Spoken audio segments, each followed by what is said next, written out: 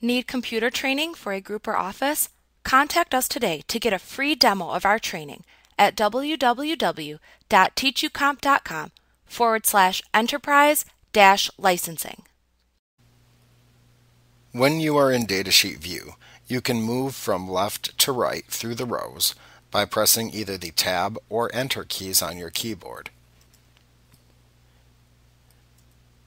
You can move from right to left by holding down the Shift key on your keyboard and then pressing the Tab key. You can also use the arrow keys on your keyboard to traverse the records if you like. If you prefer to use your mouse, you may click into any data field currently viewable in the screen to place your insertion marker, which is the thin vertical blinking line, into the desired data field. Once the insertion marker is located within a field, you can then change and edit the information within the field.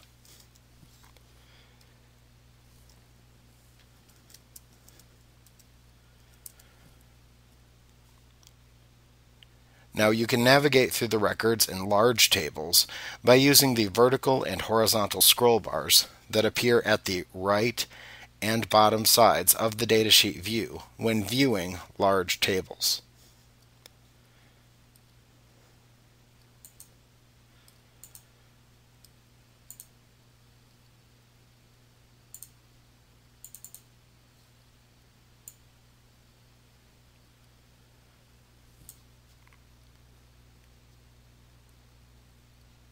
You can also click the arrow buttons that appear at the ends of the vertical or horizontal scroll bars to quickly move through records in a table.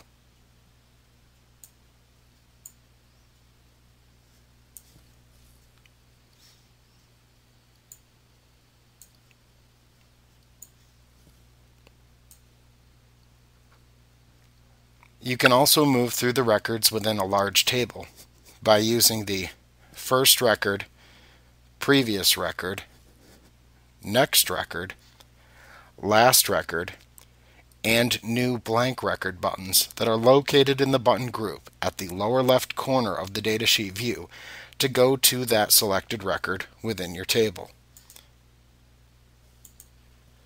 Notice that there is also a white box in the center of the button group which shows you the number of the current record along with the total number of table records.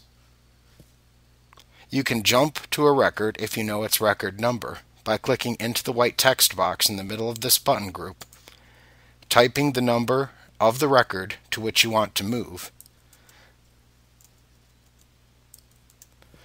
and then pressing enter on your keyboard. The number of the row that you entered will then be selected within your table.